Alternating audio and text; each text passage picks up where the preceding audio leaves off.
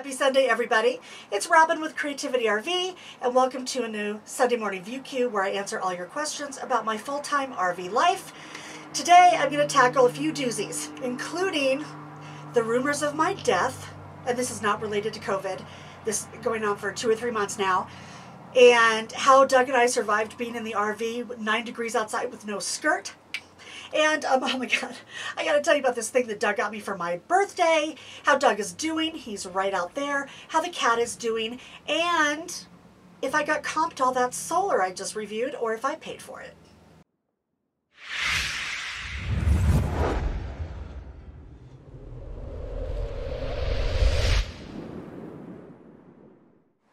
Hey, bird watchers, happy Memorial Day weekend. So, I got a lot of questions from you guys after I was out sick. I wanted to let you know that I'm doing a lot better. And for the people that was worried I was like by myself in the fifth wheel, up in the mountains in the snow, with no one looking out for me, I was under the care of a telenurse and a teledoctor.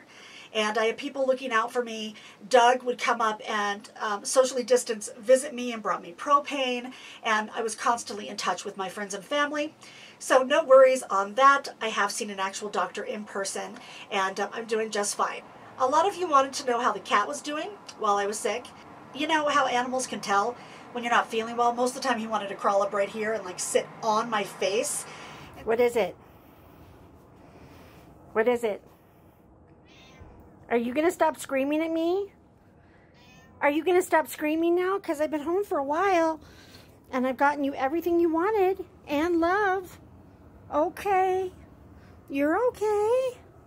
And so half the time I was like, oh my God, this is just allergies. Get off of me. He's fine.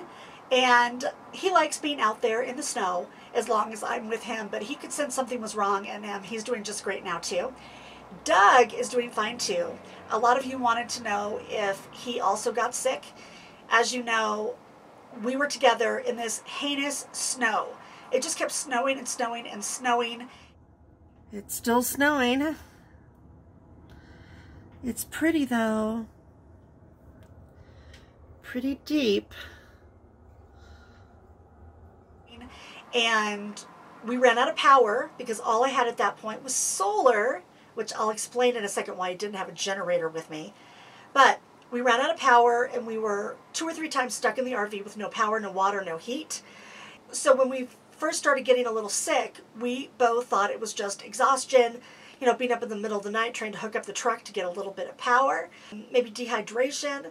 I think Doug was a little sick. He wasn't as bad as I was, thank God. You know, he got headaches, he got sore throats, he got really tired. You never know, right? But we're both doing just fine right now. Now, you guys had some of the best questions about how we survived nine degrees with no skirt, which you guys thought was really funny. If you're not RV people, let me tell you that an RV skirt goes around the outside of your RV.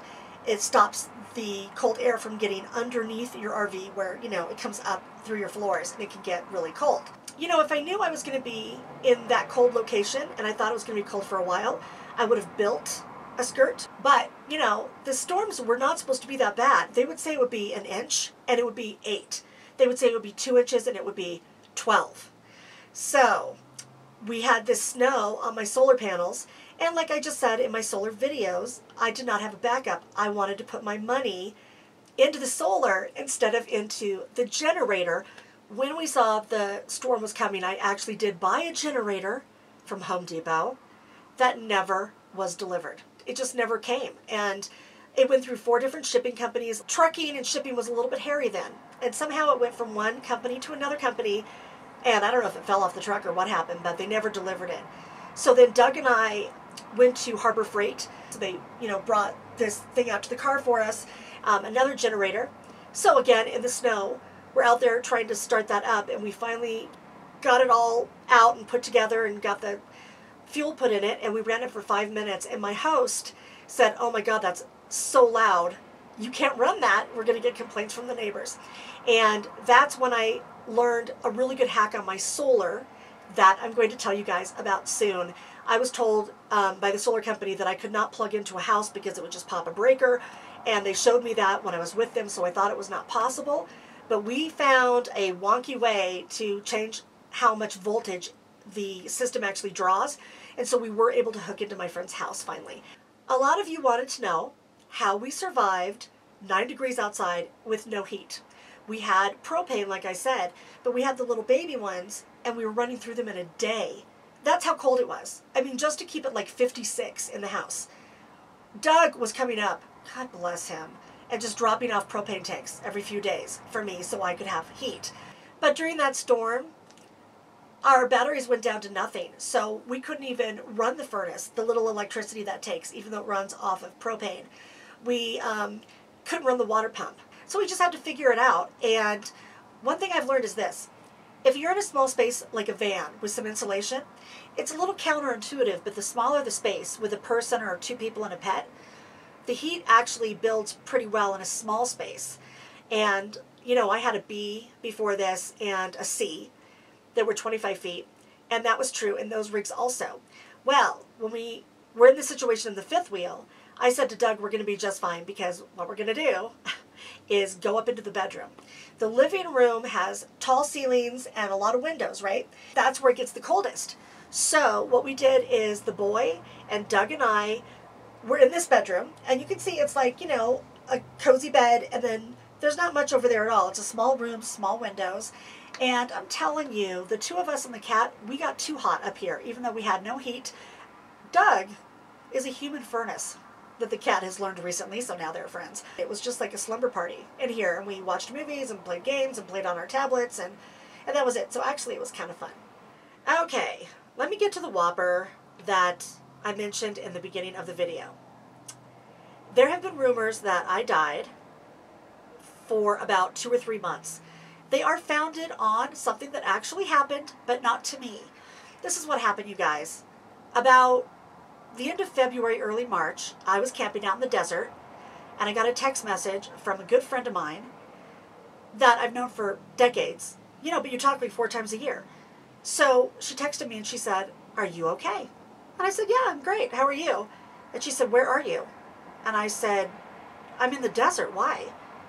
And she said that a friend of hers that doesn't know me texted her and said, I heard your friend Robin was stabbed to death. Of course, that also was not true. I was just fine.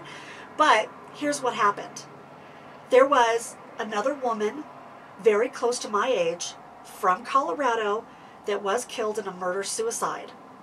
And that day, it came out in the news Robin Barrett murdered. And my friend sent me a screenshot that said on Google, in a Google search, Robin Barrett murdered, and then my picture. Because you know how Google goes, you know, they have the stories and then the images depending on how you set it up. And because I have a bigger online presence, my picture was coming up first. So at that time, I had about five of you email me and say that you heard that I was murdered. And I actually was really torn about it at the time because if that rumor snowballed, I thought I needed to address it, but I didn't want to at the time because I didn't want to get clicks on a video based on somebody else's misfortune. And a victim's memorial was asking people for a photo of the other Robin Barrett. And so people were going onto Facebook and putting in Robin Barrett, Colorado. And I was coming up. I called the people that I know best, Doug, my mom, the people I was camping with. I didn't get any more messages from you guys, so I was just going to let it go. Um, I felt really bad for that woman and her family. I did see a picture of her eventually, and she just was like our people, you know? She was just like a 50 something, fun, happy woman. And um, I feel really bad for her and her family. But I'll tell you guys, it is really disconcerting to see your name with the word murdered next to it. And, you know, I told you the universe like tries to tell you stuff. There was that, and then the COVID thing. Um, so I have realized the universe is trying to tell me, uh, you know, like all of us, that we have to live our best life because time is short, and it is. The reason I bring it up now is because when I stopped doing videos when I was sick, a whole bunch of you Googled me, and I got a lot of emails and messages from you guys going, hey, I read that you were murdered in February, but I saw you put out a video in March. I don't think it's you, but please tell us if it's you. Do you know about this story? You know how rumors go. So I just wanted to address it now. It was another woman with the exact same name as mine from the same state as me, almost the same age as me, but it wasn't me. Yeah, so that happened. It was weird. Um, but I wanted to let you guys know if you hear these rumors, not true, people. I'm still here, just fine. Now, let's get to some fun stuff. I have got to tell you about this thing I'm wearing. My birthday happened um, around the time that I was sick, and um, you know I was getting the chills and stuff. So Doug got me this. Like, look at this thing. It's a hoodie, sweater. Um, you can see it has massive pockets. It's a one size fits all, and um, here's a picture of Doug in it. And what's funny is it matches my bedding that I'm obsessed with. Like this bedding is so soft, and I don't know how he found this thing, but I will put a link for it below because I know you guys will ask me for both things. And um, I love it so much. Doug is getting one, and we just sent one as a gift to my friend Carol for her morning campfire. But I'll tell you, on cold nights, I sleep in this, and um, it's great to go out when it's chilly, and it's just really comforting. It's just like a big, it's like wearing a blanket. So that's how great uh, this is and my boyfriend is. So let me address the questions about the solar. So you guys know I just did a couple of videos um, on my solar install and um, my test, where I tested my 1280 watts with six lithium batteries in um, a rainstorm for seven days. A lot of people were like, well, of course it's easy when you don't pay for these things and, you know, clearly it was comped. It was not, you guys. I paid for it and I paid for the installation. You know, usually I don't address the comments about money. But I am going to say one thing about that. I know that, you know, everyone has a different circumstance and people kind of project uh, their situation or they think that they're stuck. You know, it's like my mission in life to help people get unstuck, honestly. That's why I wrote Be a Nomad, Change Your Life, because I wanted people to know that they could live on a lot less in an RV, which would allow them to pursue their dreams, especially if they're a boondocker like me. So I did that, you guys. I figured out how to do that with my life and then I wrote the book, um, Work From Home While You Roam, with 300 remote job sources, actual links to apply, information, everything. Because I got so many emails from you guys going, I really want to be on the road, but I can't figure out how to make a living. It's up to you. Everyone has a different circumstance, and some people cannot be on the road, and even if they are on the road, they can't afford what other people can afford. I understand that. I have a budget like everybody else, and what I did is absolutely possible for everybody else. You just have to figure out what you need and what your budget is and how to get there. When you boondock, it's a lot easier because normally I'm not paying for a place to camp. Pretty soon I'm going to do um, an updated budget for you guys. Don't don't think that other people do things that you can't do. What one of us can do, all of us can do. That's it, you guys. I hope I addressed all the questions. As always, if you need the links for this stuff or the books or whatever, they're down below. If you have any questions for me, that you want me to address in the next View Q, please do just leave them down below. I hope you're all doing well out there and having a good weekend and staying safe. And I'm thinking about all of you right now. I hope to see you on the road soon. Until then, everybody have happy travels and be free.